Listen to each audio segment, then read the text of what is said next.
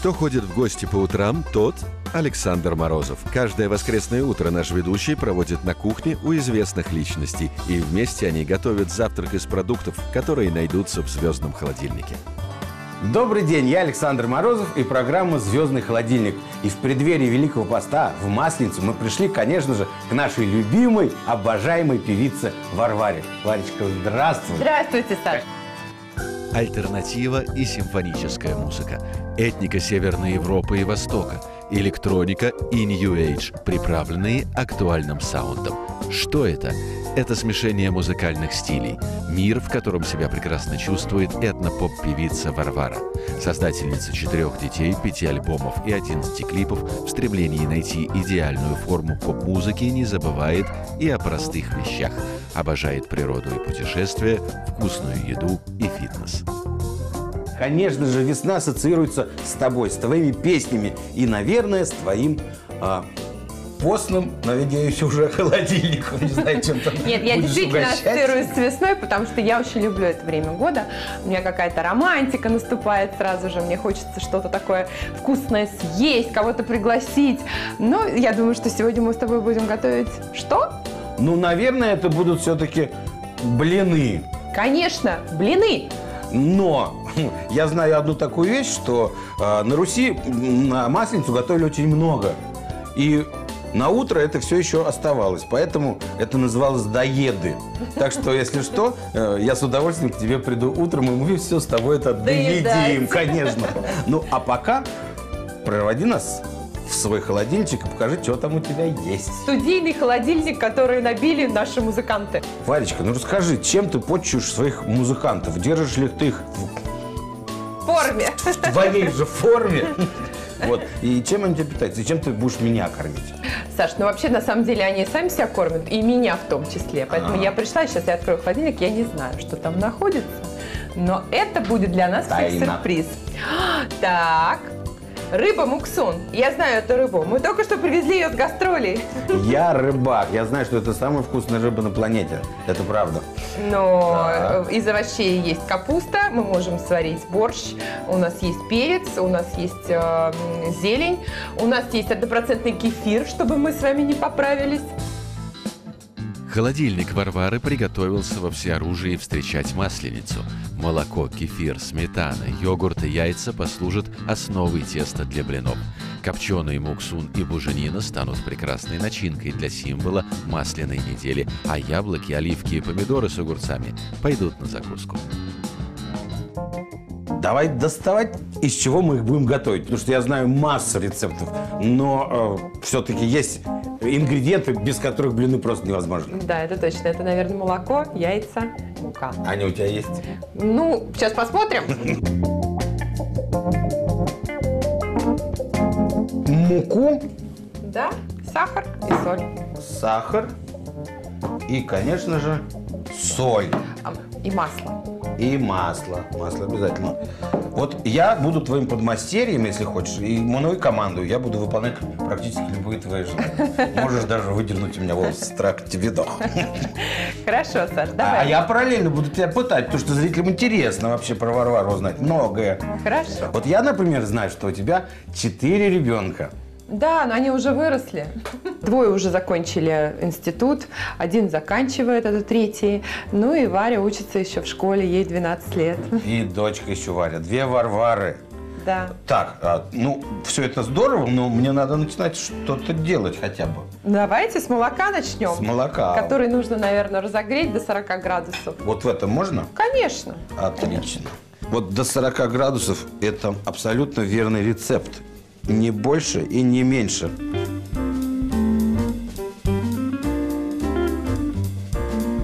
А у нас тем временем молочко уже готово. Отлично.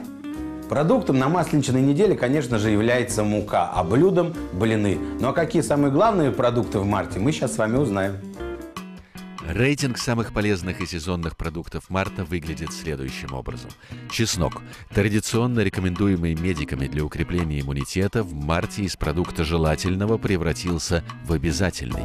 А небольшая народная хитрость избавит вас от навязчивого чесночного аромата. Запейте водой неразжеванную четвертинку зубчика чеснока, как таблетку. Отдельное место в продуктовом календаре занимает молоко. Молочные реки препятствуют развитию сахарного диабета, снижают риск развития инфарктов и инсультов, снижают давление и усиливают иммунитет. Следует лишь запомнить основные правила. Чтобы молоко переваривалось легче, его лучше пить натощак и небольшими глотками. И, наконец, в марте на вашем столе обязательно должен быть мед. Ну и пусть он достаточно калориен, зато благодаря наличию калия мед обладает свойством уничтожать бактерии, а также содержит массу полезных веществ. К тому же, если стресс и нервотрепка ваши постоянные спутники, то мед один из самых верных способов победить хандру и подлечить нервишки. Вот давай, теперь твоя рецептура. Я добавляю сразу муку. Вот ты сколько добавляешь муку? Ну, я думаю, Муки. что, ну, я думаю, что ложки две, наверное, хватит. Я вот лично всегда на глаз. Я потому что не, не- не понимаю, сколько надо. Абсолютно, да. Как ты оказалась в искусстве? Саша, это долгая очень история. Она начинается с трех лет. Как себя помню, С трех лет. да, я вставала на табуреточку перед бабушкой и дедушкой. Ты знаешь, э, проходя мимо наших соседей, я их тоже всегда останавливалась, это уже, конечно, было попозже, и говорила, ну послушайте меня, пожалуйста, я сейчас вам спою песенку. И просто пела детские И песни. каков был репертуар? Все, все детство пропела, все детство протанцевала. Начиная с пяти лет а меня дедушка отдал в музыкальную школу. Не песни-то какие пел? А, песни какие Да. школы? Ну, песни, детские песни какие. Пусть бегут Ну, неуклюже. чунга-чанга, да. Конечно, все, все, все советское время в детских песнях. Ну вот смотри, сейчас, сейчас же масленица, Да. а в масленицу принято петь. Прощай, прощай, прощай, масленица, прощай, прощай, прощай, масленица, ой да ой, ой да ой, прощай, масленица, ой да ой, ой да ой, прощай, масленица. Какой голосин, а? Никакой блинчик и никакой оладушек, конечно, не сравнится с настоящим масленичным блином. А какова его история, какова история масленицы и масленичной недели, мы сейчас с вами узнаем. Олег Машкаркин – наш личный эксперт по закупкам всего съестного, его ценам и качеству. Он знает, как обойти все уловки продавцов, найти самый качественный товар и всегда готов поделиться нехитрыми, но очень важными секретами при его выборе. Олег точно знает, что хорошего покупателя ноги кормят. О, блинки домашние. А можно мне один? Да, пожалуйста.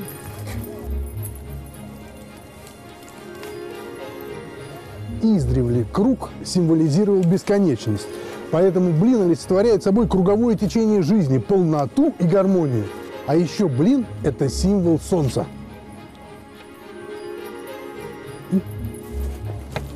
Вот не зря наши предки, устав от зимних холодов, блинами встречали богиню весны Весну. Принятием христианства на Руси древние верования попали под запрет, но традиция печь блины перед наступлением весны осталась и превратилась в масленицу – разгульный народный карнавал, который отмечают целую неделю перед Великим постом. Не веселиться на Масленицу значило всю жизнь прожить в горькой беде. Повсюду устраивались ярмарки, возводились снежные горки, качели, карусели, водили хороводы и, конечно, угощались сладостями и блинами. В старину на Масленицу те, кто мог себе позволить, объедались блинами с различными закладками. С килькой, с молоками, с икрой, с семгой. А вот интересно, с чем едят блины на Руси сейчас? У нас есть сладкое и соленое. Сладкое со сгущенкой, с медом, с джемом, с шоколадом. Соленое с красной икрой, со сметаной, с ветчиной, сыром и семгой. Вам какой сделать? А можно ведь с семушкой? Да, конечно.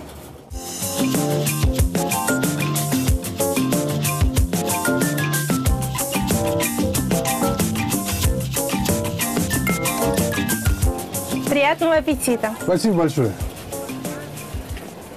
У каждого дня масленичной недели было свое имя. Понедельник – встреча, вторник – заигрыши, среда – лакомка, четверг – разгул, пятница – тещины вечерни, суббота – заловкины посиделки, воскресенье – прощенный день. И уже со вторника начинались безудержные гулянки и пляски, а также разудалые молодецкие забавы, кулачные бои. Молодцы ходили стенка на стенку, без злобы и в охотку мяли друг другу бока.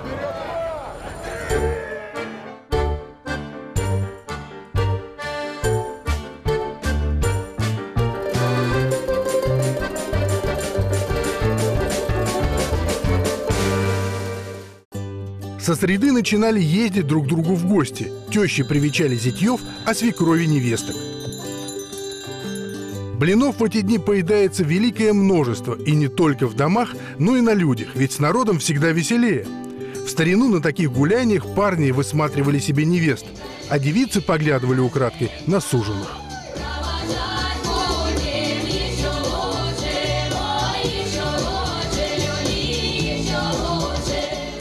Щедрый, широкий, задорный русский карнавал Масленица в угоду ушедшим языческим верованиям завершается сожжением чучела богини зимы Марены.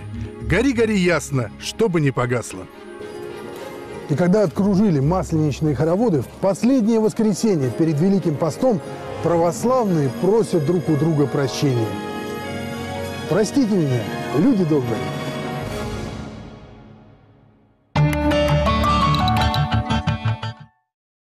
Так, про- продолжаем пытку. Так, дед отдал, значит, э, в музыкальную школу. Да, отдал меня в музыкальную школу по классу фортепиано. Правда, меня взяли а, в 5 лет, но не в первый класс, а в подготовительный. Поэтому, Фортепиано ли? А я слышал. э, вот слушай, это же А, еще не все. Это понял. же еще не все, да. А, два года я отучилась на фортепиано, а потом дедушка сказал, ну, надо же, внученька, поучиться на моем любимом инструменте.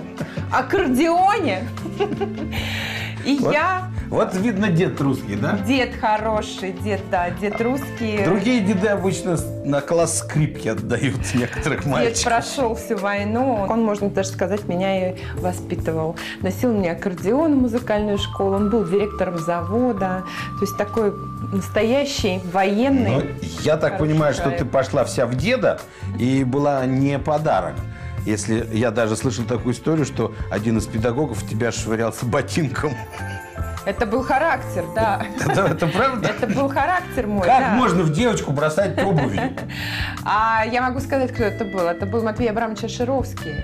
Это же знаменитый э, Даже я режиссер, знаю, кто да, это. э, театра оперетты с нашумевшей трехгрошовой оперой. Да-да-да, в Одессе он, по-моему. Совершенно Да-да-да. верно, да. Вот мне попало от него на первом курсе, потому что я уже, конечно, пришла туда со звездой. Я уже выступала... Во лбу. Да, на концертах. И в Гнесинское училище, конечно, я поступила благодаря ему, потому что он меня туда взял А себе в- на курс. А В Гнесинке отделение какое? Музыкальная комедия. Музыкальная комедия. Оперетта. Ну, видите, два комика встретились. Да. Вот только у одного комика почему-то все в этих... В, комочках. В комочках. Давай я Поэтому при- придется это... Я возьму все-таки венчик. Вообще, э, я буквально на днях разговаривал э, с шеф-поваром э, Кремля. И он сказал, что блины взбиваются только деревянным венчиком. Вот как. Вот так, и никаких миксеров, и ничего подобного. Кстати, в Кремле очень вкусные блины. Вот они точно знают, как их правильно Вот делать. в Кремле все вкусное. Ох, сейчас мы Только поедим правильно. не зовет никто нас туда.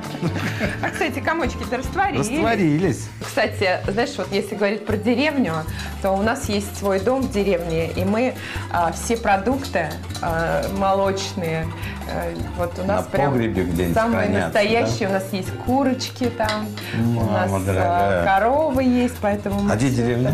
это- Деревня 500 километров от Москвы. Я кладу яйцо. Так, что добавляем дальше? Соль, сахар по вкусу. Я сахара добавляю мало, но, может быть, э, потому что сейчас масленица, можно и побольше, можно их сделать более сладкими. На глазок.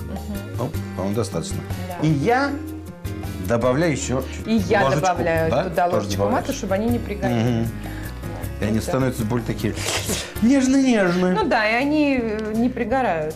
Теперь рассказывай кулинарные предпочтения твоих деток. Знаешь, они у меня всеядные. Я так счастлива, что они едят, а, и пускай едят. Мы не пускай ограничиваем их а, в количестве. Вот. Единственное, что я стараюсь покупать более натуральные продукты, творог деревенский, э, мясо. Ну, в общем-то, э, такая обыкновенная, хорошая домашняя кухня. Ну и э, могу так поделиться секретом, что на диетах, и даже не на диетах, а на таком, наверное, уж таком сценическом питании, о котором мы с тобой, наверное, знаем. Особенно сижу, я. сижу только я одна. Вот, только я ем все пареное, вареное. Нет, ты, вот, ты, ты знаешь, вот я попробовал, у меня правда получилось. Я сел на дробное питание, э, как один человек сказал, ты что, дробью питаешься? Дроби. Нет, и реально я стал сбрасывать. Но есть люди, которые сказали, Морозов, ты теряешь свой юмористический шарм. Ты знаешь, они правы. И ты туда же. Да, поэтому ты много... я хочу много быть не- мачо. Я хочу быть загорелым блондином с голубыми глазами, чтобы ходить на кубе об- полуобнаженным торсом, и чтобы девушки смотрели на меня и пускали. Саша, ты и так прекрасен. Вот это я с тобой согласен. Конечно. Вот тут не поспоришь. Поэтому ты можешь себе не отказывать ни в чем. Тем более в блинах на масленицу. Вот, по-моему, там... Да, там есть комочки. Чутка, вот я тебя поднапрягу так. Ага, и можно я немножечко еще муки добавлю, потому что мне кажется... Вот, вот Ага. твое искусство, даже и не лезу. А я тем не- временем попытаюсь поставить сковородочку уже на огонечек. Варенька, у тебя прекрасные сковородки на Да. кухне. Э, Надо ее поставить на огонь, чтобы она была горячая. Только тогда мы туда... Только получится тогда. Да, тогда получится блин. вот я почему-то, знаешь, с какой-то ностальгией вспоминаю бабушкину чугунную, которую, я не знаю, там лет 200-300. На ней блинов было пережарено уже миллиард, наверное. Она была большая, Она была бабушкина. большая, да. я помню, да, у нас то же самое.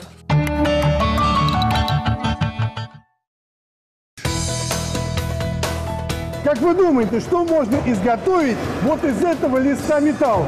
Как представитель сильной половины человечества, я думаю, ну не знаю, обшивку для космического корабля или самолета. А как бы на этот вопрос ответила представительница прекрасной половины? Я думаю, что женщина в первую очередь бы подумала о том, без чего не может обойтись ни одна хозяйка. И будет права. Речь сегодня пойдет о рождении сковородки. Будущие сковороды и блинницы рождаются из листов алюминиевой ленты. Толщина такого полотна варьируется от 1 до 4 мм, в зависимости от того, какой должна быть будущая сковородка. Это, конечно, еще не сковородка. А вот как этот алюминиевый диск превратится в незаменимый предмет кухонной утвари, я вам сейчас расскажу.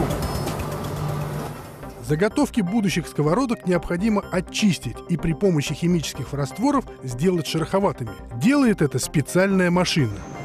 Здесь диски очищаются и шлифуются. После этого на них наносятся два вида покрытия. Внутреннее антипригарное и внешнее. Нанесение антипригарного и декоративного покрытия происходит методом роликового наката. На производственной линии длиной в 50 метров покрытие наносится в 3-5 слоев. Итак, покрытие нанесено. И чтобы оно лучше держалось, диски надо спекать. Вот в этой печи.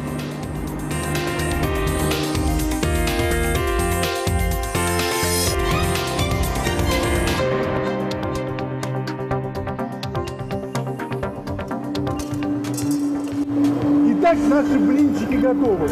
Внутренняя сторона пеклась при температуре 440 градусов, а внешняя при температуре 290. Следующий этап – придание формы.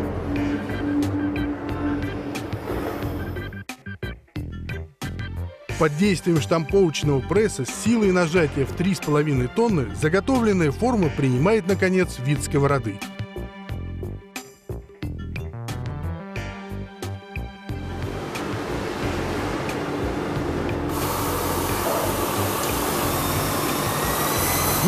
Здесь на токарном станке обрабатывается дно сковородки для того, чтобы она не скользила по плите.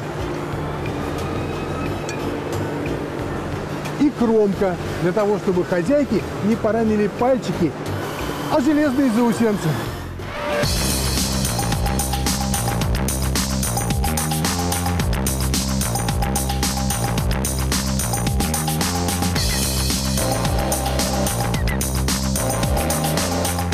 Следующий этап – устанавливаем фурнитуру. То есть крепим ручку.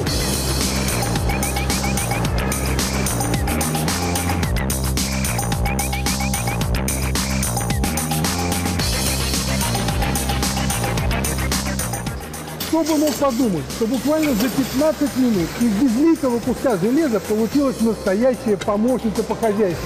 Осталось только ручку прикрепить. Интересный факт, с момента своего создания сковородка практически не изменилась. Разница только в покрытии. И чтобы у вас первый блин не получился комом, выбирайте качественную продукцию. А как тестируют сковородки на качество, я вам сейчас расскажу.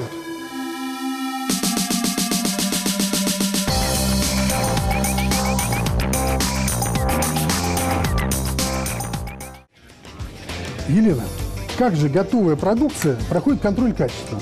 Вот как мне проверить, надежно ли закреплена ручка? Мы сейчас сделаем ей нагрузку, а для этого нам потребуется гири. Одну и самую большую попробуем. Держит. Прекрасно. Но следующее испытание, которое мы делаем, это проверяем э, адгезию на нашем покрытии антипригарном. Чтобы проверить крепость сцепления покрытия с металлом, технолог по специальной схеме наносит ножом несколько надрезов царапин. Затем для проверки приклеивает скотч. Если на скотче не осталась крошка от покрытия, а рисунок решетки совпадает с шаблоном, покрытие закреплено надежно. Одно еще из важных испытаний, которые мы проводим в лаборатории, это на истирании. То есть с нагрузкой у нас происходит 7,5 тысяч циклов. Это мы проверяем, сколько раз женщина может помыть нашу сковородку, чтобы на ней не осталась дырка. А как можно измерить толщину антипригарного покрытия? Для этого у нас есть прибор, толщиномер, который работает путем прикасания к поверхности. Мы смотрим, нам выдается определенное число, Я так понимаю, главное, чтобы везде было одинаково. Да. На всей поверхности Да. сковородки. и не меньше, и не больше. Ну что ж, мое изделие выдержало аж 5 килограммов. После этого я могу с уверенностью сказать, эта сковородка прослужит вам долгое время. Однако специалисты советуют менять посуду с покрытием каждые два года.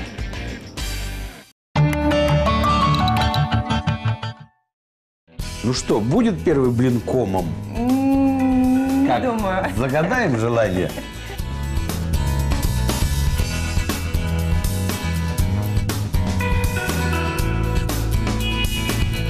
Не дождетесь, товарищи. Идеальный блин. Посмотрите сами. А интересно, чем ты будешь переворачивать? Вообще, конечно, здорово, когда вот так хлоп, но я так не умею. Да. Знаешь, почему я добавляю соду? Потому что они получаются с С дырочкой. дырочками, да. Но вот я про соду спрашивал у шеф-повара Кремля.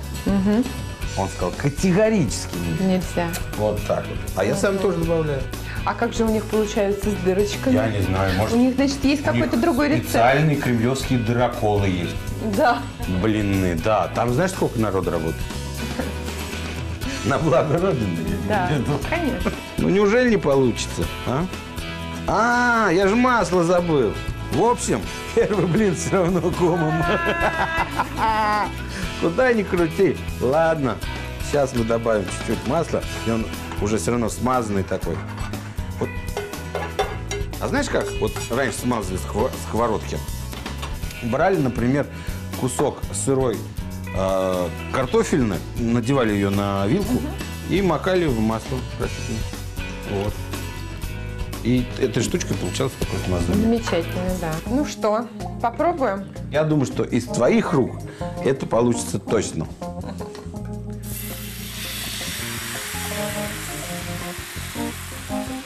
Оп! Какой масляный блин! Как можно в этом возрасте, я не буду уточнять, естественно, стать заслуженной артисткой России? 18-то наших Да. Заслуженной артисткой России, между прочим. Заслужила. И, и даже один человек очень важный, э, который является руководителем союзного государства Беларуси и России, сказал, что ты являешься связующим звеном между нашими странами и способствуешь объединению. Вот с каким человеком я готовлю блины на м- масле, цукра. Пора переворачивать, по-моему. Кстати, у меня скоро будет в Минске сольный концерт. Я действительно очень часто езжу в Белоруссию, а, ну, практически на все мероприятия. Мне нравится эта страна, а, мне нравятся все молочные продукты, которые там есть. Нет, там, конечно, удивительный народ, удивительные люди. Мне очень нравится Белоруссия, поэтому, наверное, я и являюсь связующим звеном.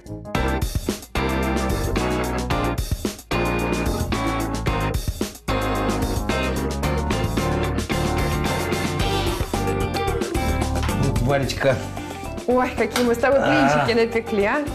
Замечательно. И Красота. последний, самый красивый. Блины. Смешать молоко с водой и развести в них яйцо. Добавить муку, все хорошо перемешать. Добавить соль, сахар и немного растительного масла. Взбить миксером. Поджарить блины на сковороде. Приятного аппетита!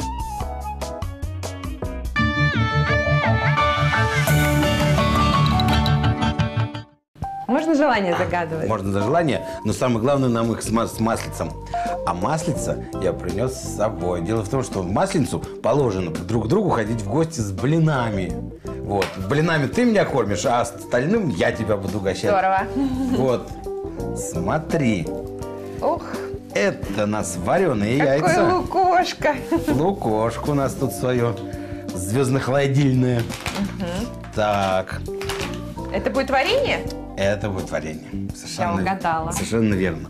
А я тебе сейчас дам какую-нибудь штучку. Ты можешь открыть масло Ага, и смазать блинчик. блинчики. Масло это у нас топленое, деревенское, специально привезенное для тебя. Ой, спасибо большое. Ну, может быть, достанется еще твоим а музыкантам. пахнет. А дай понюхать. Божественно. Божественно. А я начну делать начинку, которую мы положим в блины. Вот. И что это будет, Саш, за начинка? Это будет яйцо вареное с обжаренным луком. А, ты будешь Это лук очень вкусно, да, и мы это обжарим как раз вот на этом замечательном э, пассеровать. маслице, да, п- пассируем. Я прям вот так вот. Варечка, ну мы тоже будем делать сладенькие блинчики, потому что без сладенького как-то масленица Конечно. ску- скучновато будет, поэтому сейчас я приготовлю специальную начиночку сладкую для наших блинчиков. Ну что, мне порезать, наверное, яйца нужно, да? А ты умеешь? Давай режь. Гемо финиш, аск. Ну, естественно, я должен спросить тебя о проекте, который нашумел на всю страну. Я имею в виду универсальный артист. Как туда певица, а, такая ди- дива фолк народная, скажем так, попала в э- это? В Это. В это. Ну, Саш, мы же артисты, мы же должны быть универсальными. Как говорит. Боря Мои- Моисеев, мы же артисты, окей. Конечно, да. Мы должны быть готовы всегда к работе. И что нужно было выучить песню в традициях рэпа за три дня. Э, То есть это было ни для кого не сюрпризом. Я это сделала, и мне поставили самые высокие баллы. Попробовала себя в роке, тоже мне очень понравилось. Я думаю, что я и шансон – это несочетаемые э, вещи, оказывается. Но сочетаемая разговаривающая певица и режущая все-таки яйца. Хорошо. Потому что, знаете, филонить у нас не выйдет. Нет, не выйдет. Так, а насчет рэпа, вот это меня действительно удивило, потому что я в твоем исполнении ни разу не слышал. О, это было очень круто. А Надо Может, было овладеть. йоу, Да, да, да, продемонстрируем? овладеть.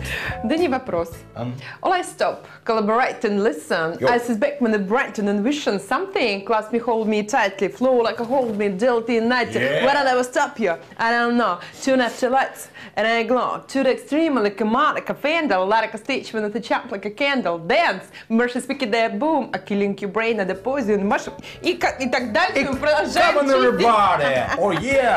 Э, Единственное, что я знаю по-английски. Слушай, мы спели. Да, да, да, да, да. Единственное, что было очень сложно в джазе. Вот джаз на храпом не возьмешь. Это надо заниматься и быть все-таки другой национальности. Вот, э, То есть потому что джаз это все-таки Гуталин у меня есть где-то. совершенно не русское. Традиции, не русское искусство. Это Ну, а ты, музыка. ты, ты владеешь? Джазом? Да. Ну, как я могу владеть джазом? Это, наверное, единственное, чем я не владею. Ну, Хотя а- я очень люблю, очень люблю слушать джаз в исполнении там Элла Фиджеральд, Луи Армстронг, э, то есть Пол Негри. Это э, потрясающая музыка, очень хорошая музыка. Мы, кстати, с ней Новый год даже отмечаем. Ничего себе. А я, знаешь, на ком? На Giro помешан. Хороший, Вот, хороший. Вот. Да. И Барри Уайт. Ну, это же как. Ну, что-то. Вот. Я смотри. И Лиза Стэнфилд. И я смотрю, вот что делаю. Ага, Ага. Ой-ой-ой. пассируешь, да? Пассерую вот в этом топленом маслице лучок.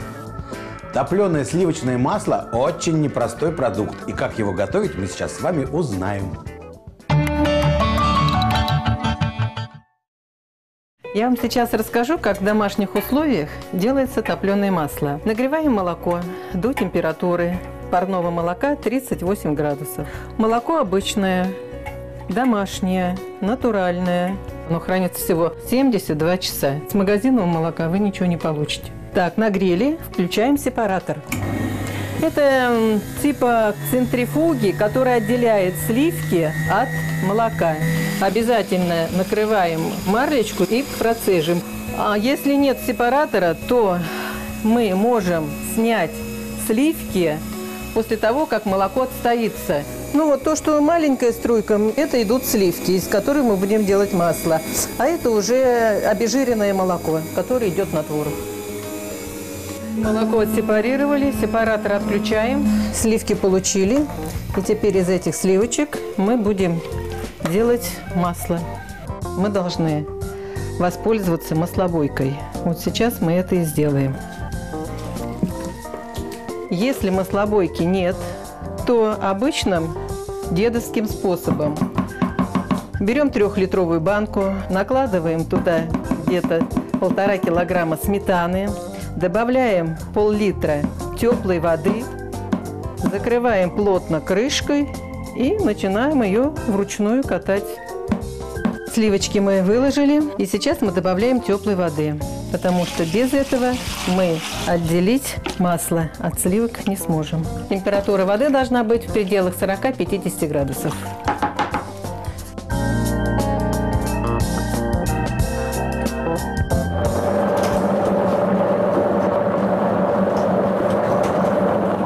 Слабойка закончила работать, значит масло у нас сбилось. Сейчас мы масло будем промывать холодной водой, потому что оно сейчас содержит еще пахту.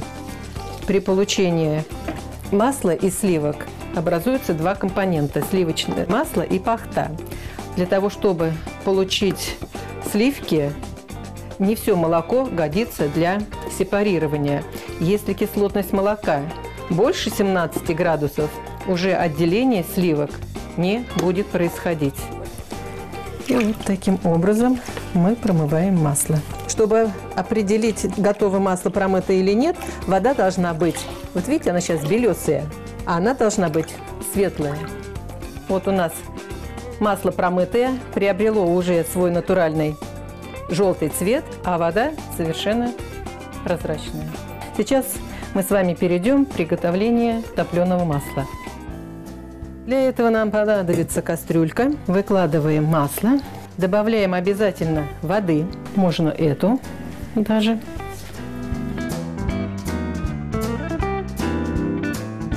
Ставим масло на огонь и доводим до кипения. Потом убавляем огонь. И масло у нас должно томиться в пределах двух часов. Естественно, будет образовываться пеночка, мы ее будем снимать. Помешивать не обязательно, потому что там вода, а вода для того, чтобы масло не горело, не прогорало.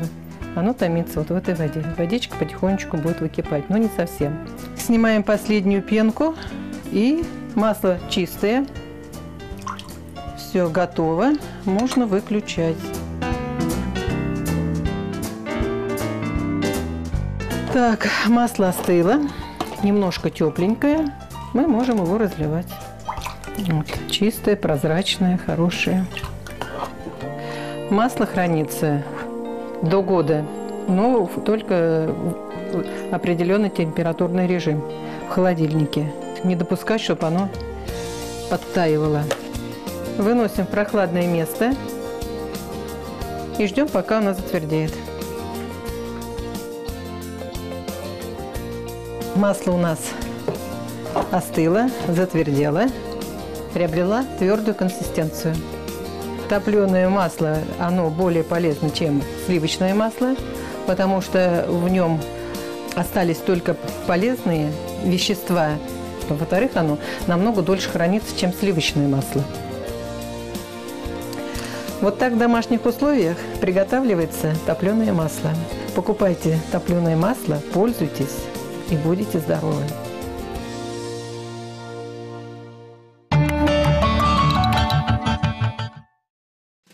Начну делать специальную начинку, сладенькую, для наших блинчиков. И на заметку нашим хозяюшкам, милые мои, когда вы где-то вычитываете, что этот сок куда-то нужно деть или слить, или промыть эту ягоду, ни в коем случае этого не делайте. Это самое вкусное. Смело целиком высыпайте это в какой-нибудь сотейничек, засыпайте сахаром, а лучше всего тростниковым, и ставьте это на плиту. И вы получите сумасшедшую начинку для блинов. Ну и, конечно, можно добавить капельку ванильного сахара. Чутка. Так, для запаха. Очень вкусно. Очень вкусно. Ваниль. Плоды ванили многолетних лиан семейства орхидные. Используются в виде засушенных стручков, спиртовых экстрактов и порошкообразной смеси с сахарной пудрой, идеально подходящие для выпечки. Тонкий, насыщенный сладкий аромат и горький вкус ванили прекрасно сочетаются с разнообразной выпечкой, шоколадными кремами и запеченными фруктами. Но также ваниль можно попробовать добавлять и в несладкие блюда. Родина ванили – Мексика и Центральная Америка. Ацтеки использовали эту пряность для улучшения вкуса шоколада.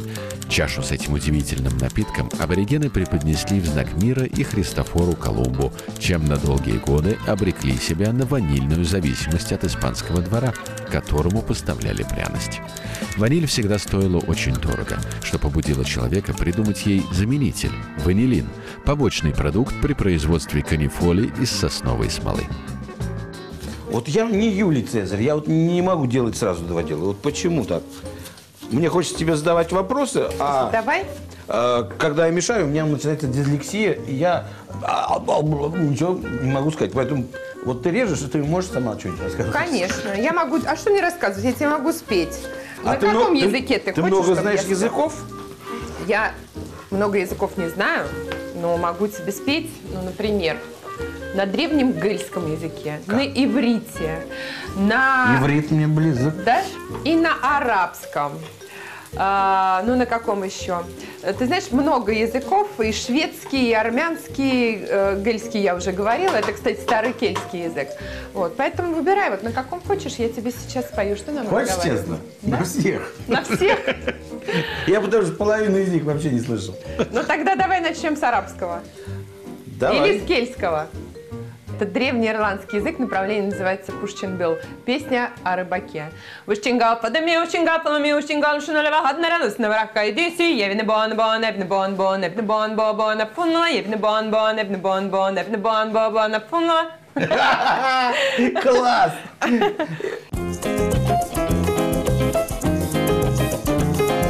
Так, а наше варенье уже почти готово. Так, это я могу прям перемешать так. Обязательно надо посолить. Это я предоставляю тебе. Мне? Да. А я ем не соленая. Ну, тогда солю Когда я. не солю. Вообще? Вообще.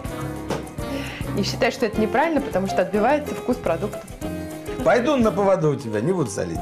Попробуй. Ну, в принципе, в блинах же есть соленушка? Конечно, А, этого ну, достаточно. Этого достаточно. Это очень живое Соль блюдо. вообще вредная, конечно же, это бесспорно. Так, Завела ты меня. Про языки еще какие? Арабский, шведский, а, на армянском. На арабском? Да. Селемат, Селемат. саламат, я хабибная бамадия, шуб сафару макам вахид, мавахашна минум вахид, ле, ле, ле, ле, ле, ле, ден таваштена бидзе. Браво, браво, браво.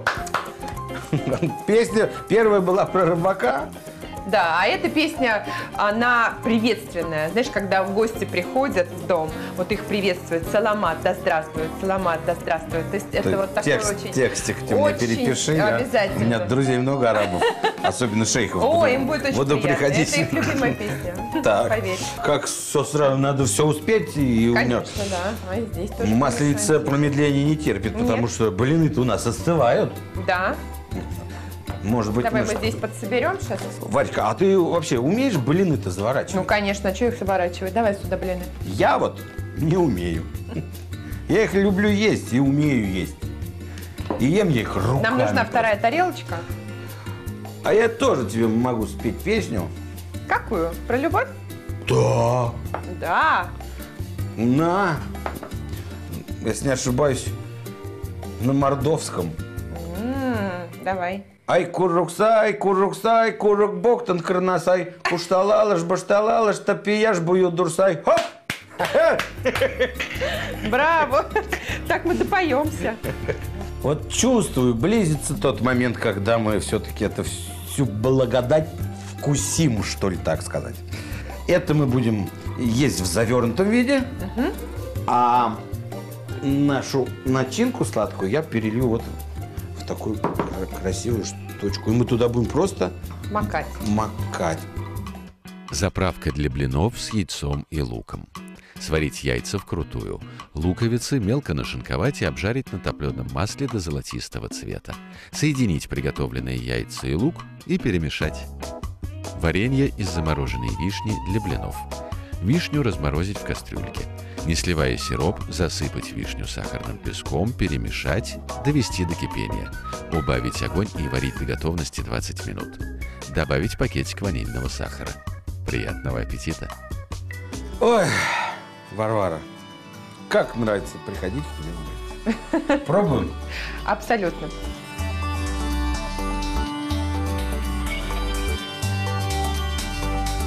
Очень вкусно. Прощай, диета. Здравствуй, Масленица! Люди, если вы в Масленице не попробовали блин, вы год прожили зря. Перед постом надо как следует. Наесться? Да. Как медведь перед э, зимовкой. Но я настаиваю, чтобы мы с тобой попробовали именно вот со сладеньким. Давай. Ну и эту диету, правильно? Конечно. Кстати, считается, что съев 5 блинов, вы в день не наберете никаких холодных. Вот так вот. Это мне диетолог сказал. Интересно, хотела бы я дружить с таким диетологом. Это очень вкусно. А у меня все такие диетологи, поэтому я так выгляжу. Добрые и Они, добрые люди. Да. Божественно, божественно. Друзья мои, я считаю, что Масленица с нашей подругой, даже не подругой, уже близким человеком Варварой случилось. Мы наелись блинов, мы сытые и довольные. С вами была программа «Звездный холодильник». Александр Морозов, Варвара. И нам с Варенькой было очень вкусно.